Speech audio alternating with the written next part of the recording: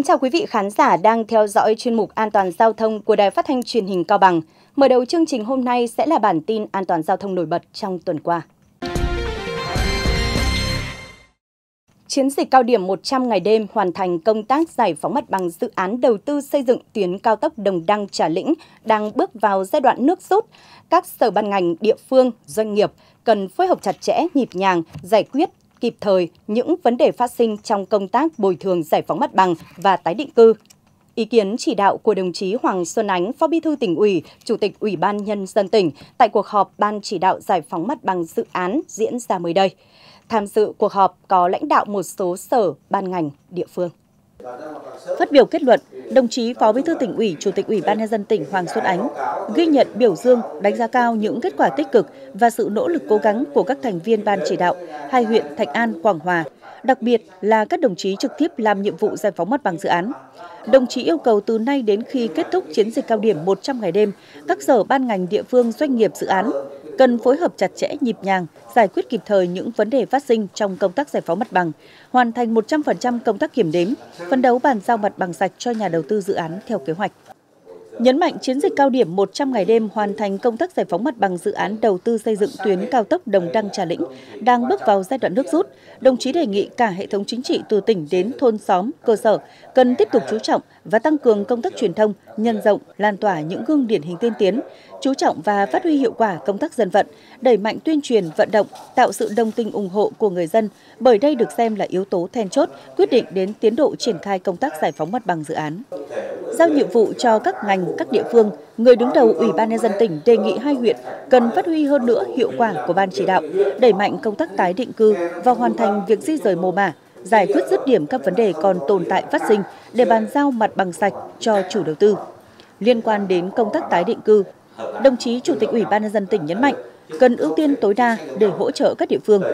Việc các hộ xây dựng nhà trên đất nông nghiệp, các huyện cần đề xuất hướng giải quyết cụ thể, đảm bảo lợi ích cho người dân. Đồng thời yêu cầu nhà đầu tư và các đơn vị thi công huy động máy móc thiết bị, nhân lực để triển khai ngay sau khi nhận bàn giao mặt bằng. Tránh tình trạng người dân trồng hoa màu trên phần diện tích đã bàn giao, phối hợp với các lực lượng chức năng tăng cường công tác bám nắm tình hình, tuyên truyền vận động người dân không để xảy ra các điểm khiếu kiện, điểm nóng kéo dài. Đồng chí cũng chỉ đạo thống nhất kế hoạch tổ chức tổng kết chiến dịch cao điểm 100 ngày đêm hoàn thành công tác giải phóng mặt bằng vào ngày 7 tháng 5 tới đây tại huyện Quảng Hòa. Giao các cơ quan chuyên môn và địa phương chuẩn bị chu đáo, kỹ lưỡng, tạo tinh thần phấn khởi thi đua thực hiện dự án trong thời gian tới. 3 tháng đầu năm, lực lượng cảnh sát giao thông toàn tỉnh bố trí 1.747 ca với 7.195 lượt cán bộ, chiến sĩ tuần tra kiểm soát, qua đó phát hiện xử lý 4.831 trường hợp vi phạm luật giao thông đường bộ, xử phạt vi phạm hành chính trên 8,7 tỷ đồng, tước quyền sử dụng giấy phép lái xe 882 trường hợp, tạm giữ 91 ô tô, 1.075 mô tô. Trong đó, lực lượng chức năng phát hiện xử lý 33 trường hợp vi phạm về cơi nới, thùng xe và chở hàng quá trọng tải, quá khổ trên đường bộ, chiếm 42,1% tổng số vi phạm trật tự an toàn giao thông. 955 trường hợp vi phạm về nồng độ cồn, chiếm 19,8% tổng số vi phạm trật tự an toàn giao thông. 1.046 trường hợp vi phạm về tốc độ, chiếm 21,6% tổng số vi phạm trật tự an toàn giao thông về các hành vi mà người dưới 18 tuổi vi phạm, lực lượng cảnh sát giao thông phát hiện xử lý 460 trường hợp vi phạm chưa đủ tuổi điều khiển phương tiện, chiếm 9,5% trên tổng số vi phạm, 225 trường hợp giao xe cho người đủ điều kiện điều khiển, chiếm 4,6% tổng số vi phạm, 648 trường hợp vi phạm về đội mũ bảo hiểm, chiếm 13,4% tổng số vi phạm. Toàn tỉnh xảy ra 58 vụ tai nạn giao thông, làm 10 người chết, 62 người bị thương, ước thiệt hại tài sản trên 1,3 tỷ đồng. Thưa quý vị và các bạn, là công trình có ý nghĩa quan trọng thúc đẩy kinh tế xã hội địa phương, dự án đường bộ cao tốc Đồng Đăng Lạng Sơn, Trà Lĩnh, Cao Bằng được cấp ủy chính quyền địa phương các cấp vào cuộc chỉ đạo quyết liệt, hiệu quả, nhân dân tin tưởng đồng thuận cao, sớm di rời, bàn giao mặt bằng sạch để liên danh nhà đầu tư triển khai thi công dự án đảm bảo tiến độ trước khi nhận đền bù. Cả hệ thống chính trị từ tỉnh đến cơ sở đã và đang nỗ lực triển khai đồng bộ nhiều giải pháp thúc đẩy thi công cao tốc Đồng Đăng Trà Lĩnh.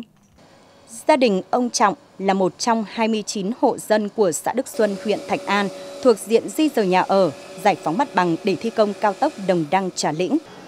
Qua tuyên truyền vận động gia đình ông đã tiến hành ký cam kết bàn giao mặt bằng sớm cho nhà đầu tư dự án. Với tinh thần hỗ trợ tối đa cho người dân, những ngày này các đơn vị nhà thầu thi công dự án đã huy động máy móc giúp đỡ gia đình ông san gạt mặt bằng tại chỗ ở mới, giúp gia đình sớm ổn định cuộc sống. Thực ra là là để bàn giao mặt bằng ấy thì phải nhờ cái sự đồng thuận cao của bà con. Còn đối với nhà thầu ấy, khi mà gặp những cái vướng mắc của bà con thì nhà thầu cũng sẵn sàng tạo kiện. Nếu trong cái chuyện ờ, trong chuyện san gạt mặt bằng này, hỗ trợ việc di chuyển đồ đạc để, để tái định cư. Ờ, nếu bà con có nhu cầu gì thì nhà thầu cũng sẵn sàng hỗ trợ. Hiện nay, cấp ủy chính quyền địa phương phối hợp cơ bản thực hiện xong các bước thuộc quy trình thu hồi giải phóng mặt bằng, tiến hành kiểm đếm đo đạc đất đai, tài sản, hoa màu tại 16 trên 16 xóm với tổng diện tích hơn 102 ha, có 107 nhà ở thuộc diện phải di rời, trong đó 75 hộ có nguyện vọng bố trí tái định cư tập trung. Hội đồng giải phóng mặt bằng và tổ kiểm đếm đền bù huyện lên phương án dự toán cho 659 hộ bị ảnh hưởng trên địa bàn thị trấn Đông Khê, xã Đức Xuân, Lê Lai, Vân Trình, Thụy Hùng. Đến ngày 17 tháng 4 năm 2024, toàn huyện đã cơ bản kiểm đếm xong đất đai, tài sản, hoa màu của 5 trên 5 xã thị trấn tuyến cao tốc đi qua.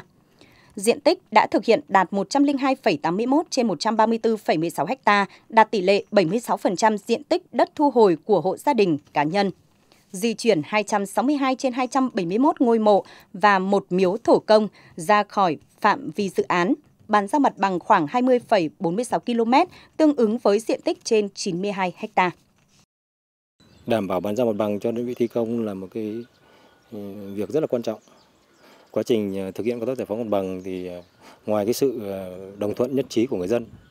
và những cái kiến nghị của các hộ gia đình thì chúng tôi cũng bàn bạc thống nhất và đề xuất các cái chính sách hỗ trợ khác cho các cái hộ gia đình liên quan đến việc thu hồi đất đai giải phóng bằng cho dự án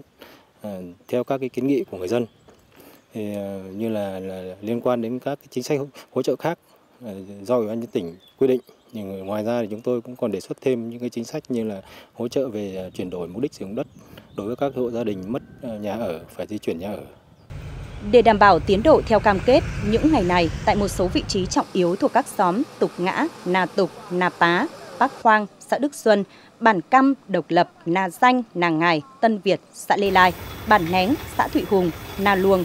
và một số hộ thuộc tổ dân phố 1 xóm Nà Dề, thị trấn Đông Khê, liên danh nhà đầu tư đang tập trung huy động nhân lực, thiết bị máy móc, tranh thủ thời tiết khô giáo, san ủi mặt bằng, xử lý những điểm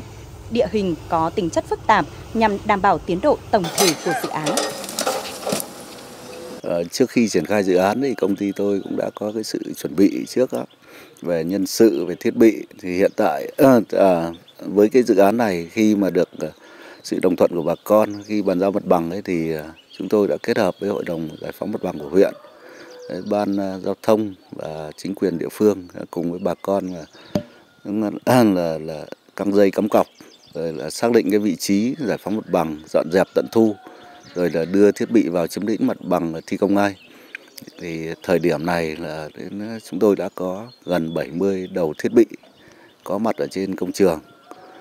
đã, đã triển khai thi công được 4 mũi các chỗ cây 53 cây ờ, đây, cây 58 cây ờ, 65 và bên kia cây 82. Thì, ý thức được cái cái cái vai trò trách nhiệm của nhà thầu trong dự án là chúng tôi cũng có cái sự chuẩn bị về nhân sự cũng rất là kỹ lưỡng. Các cái vai trò các nhân sự chủ chốt thì cũng đã đáp ứng được đủ. Rồi, ngoài ra là những cái lượng uh, nhân công ờ, phổ thông lái xe lái máy các đến thời điểm hiện tại là cũng đã sẵn sàng cho dự án Chúng tôi là thi công từ lý trình từ km 38 cộng 00 được bên Tràng Định Lạng Sơn đến hết cuối đến cuối tuyến là km 93 cộng 350. Ừ, thi công toàn bộ cái phần à, phần phần nền móng cũng các ờ, hệ thống thoát nước và gia cố mái trong đó và gần hai chục cầu. Hiện tại thì mặt bằng thì cũng mới được bàn giao, nên chúng tôi đang triển khai tiến hành là ờ, phát quang dọn dẹp đào bóc hữu cơ là, là công các ờ, triển khai công đắp cái đường công vụ nội tuyến. Tại huyện Quảng Hòa, dự án đi qua 12 xóm thuộc 4 xã thị trấn Tiên Thành, Hòa Thuận, Hạnh Phúc, Trí Thảo với chiều dài tuyến khoảng 19,8 km, tổng diện tích đất thu hồi 125,49 ha, có 680 hộ gia đình và 95 nhà ở bị ảnh hưởng. Đến nay, huyện bàn giao hơn 11 km cho đơn vị thi công, tương đương với hơn 70 ha, di chuyển xong 61 mộ trước dịp thanh minh mùng 3 tháng 3. Bên cạnh đó, dự án xây dựng hạ tầng cơ sở khu tái định cư xóm Đồng Ất, thị trấn Quảng Uyên đến nay được Ủy ban Nhân dân tỉnh phê duyệt, hiện đang thực hiện các bước tiếp theo. Dự án xây dựng hạ tầng cơ sở phân lô dân cư huyện Quảng Hòa lập xong hồ sơ vay vốn, gửi Quỹ phát triển đất xem xét, trình Hội đồng Quản lý Quỹ triển khai. Để thúc đẩy quá trình thi công dự án, bên cạnh sự tích cực chủ động của các địa phương, của các nhà thầu về điều kiện cơ sở vật chất, máy móc thiết bị, con người. Mới đây, Công an tỉnh, Ban Quản lý Dự án Đầu tư xây dựng các công trình giao thông tỉnh và Công ty Cổ phần Cao tốc Đồng Đăng Trà Lĩnh vừa ký kết quy chế phối hợp bảo đảm an ninh quốc gia, trật tự an toàn xã hội, đấu tranh phòng chống tội phạm và các hành vi vi phạm pháp luật phục vụ quá trình thi công dự án đầu tư xây dựng tuyến cao tốc Đồng Đăng Lạng Sơn Trà Lĩnh Cao Bằng. Dự án đầu tư xây dựng tuyến cao tốc Đồng Đăng Lạng Sơn Trà Lĩnh Cao Bằng là dự án đầu tư xây dựng kết cấu hạ tầng giao thông có quy mô lớn nhất trên địa bàn tỉnh Cao Bằng tính đến thời điểm hiện nay. Đây là dự án có ý nghĩa chiến lược về an ninh quốc phòng và phát triển kinh tế xã hội, đối ngoại, góp phần tạo động lực và thúc đẩy đời sống kinh tế xã hội của nhân dân trên địa bàn. Theo quy chế phối hợp được ký kết, Công an tỉnh Cao Bằng, Ban Quản lý Dự án Đầu tư xây dựng các công trình giao thông Cao Bằng và Công ty Cổ phần Cao tốc Đồng Đăng Trà Lĩnh sẽ tăng cường trao đổi thông tin, phối hợp xử lý các hành vi vi phạm pháp luật và những hành vi gây ảnh hưởng đến quá trình triển khai thi công dự án. Trong đó, Công an tỉnh hướng dẫn các đơn vị thực hiện nghiêm túc các nội dung về đường lối của Đảng, chính sách pháp luật của nhà nước về công tác bảo đảm an ninh trật tự, thông tin kịp thời về các phương thức thủ đoạn hoạt động của các loại tội phạm thường xảy ra trong quá trình thi công dự án, kịp thời trao đổi thông tin trong điều tra xử lý các vụ việc vi phạm pháp luật, Ban quản lý dự án và công ty cổ phần cao tốc Đồng Đăng Trà Lĩnh có trách nhiệm cung cấp trao đổi thông tin, tình hình, tiến độ triển khai dự án phối hợp lực lượng công an trong kiểm tra đánh giá tình hình an toàn phòng chống cháy nổ, an toàn lao động, kịp thời xử lý, tháo gỡ các vướng mắc trong quá trình thi công. Dự án đường bộ cao tốc Đồng Đăng Trà Lĩnh đã và đang nhận được sự đồng thuận cao của người dân các địa phương hai tỉnh Cao Bằng, Lạng Sơn. Về phía huyện Thạch An, Quảng Hòa đang dồn lực tập trung tháo gỡ những khó khăn vướng mắc và đề xuất các giải pháp thực hiện hiệu quả công tác đền bù giải phóng mặt bằng, phân đấu bàn giao mặt bằng sạch, đảm bảo đúng tiến độ để liên danh nhà đầu tư triển khai thi công theo kế hoạch. Phóng sự vừa rồi cũng đã khép lại chuyên mục an toàn giao thông tuần này của chúng tôi. Cảm ơn quý vị khán giả đã quan tâm theo dõi chương trình. Xin kính chào và hẹn gặp lại quý vị vào tối thứ năm tuần sau.